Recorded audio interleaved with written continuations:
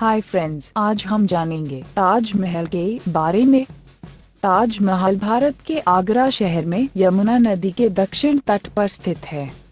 ताजमहल नाम का अनुवाद क्रोन ऑफ़ पैलेस के लिए रूप में किया जाता है। शाहजहां को मृत फारसी राजकुमारी और पत्नी की सुंदरता के संदर्भ में इसका नाम दिया गया था। यह दुनिया के सात अजूबों में से एक है। साल उन्नीस सौ तिरासी में ताजमहल को यूनेस्को की वर्ल्ड हेरिटेज स्थल के रूप में घोषित किया गया था। यह मुगल आर्किटेक्चर का सबसे श्रेष्ठ उदाहरण है, जो भारतीय पश्चिम और इस्लामी प्रभावों को एकत्रित करता है। सफ़ेद संगमरमर के कारण जो सूर्य की रोशनी या चंद्रमा की सतह पर निर्भर करता है, उसके आधार पर रंग बदलता प्रतीत होता है। ताजमहल का निर्माण 1632 में शुरू हुआ था और सोलह में दो दशक बाद पूरा हुआ।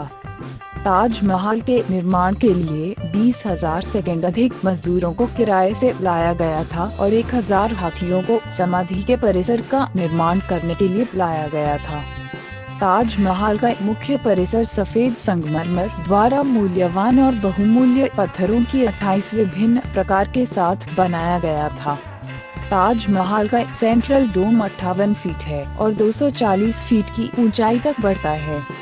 आज के वीडियो में बस इतना ही। इस प्रकार के और वीडियो देखने के लिए प्लीज़ हमारे चैनल को सब्सक्राइब करके बेल आइकॉन को हिट कीजिए और वीडियो को लाइक और शेयर कीजिए। Thank you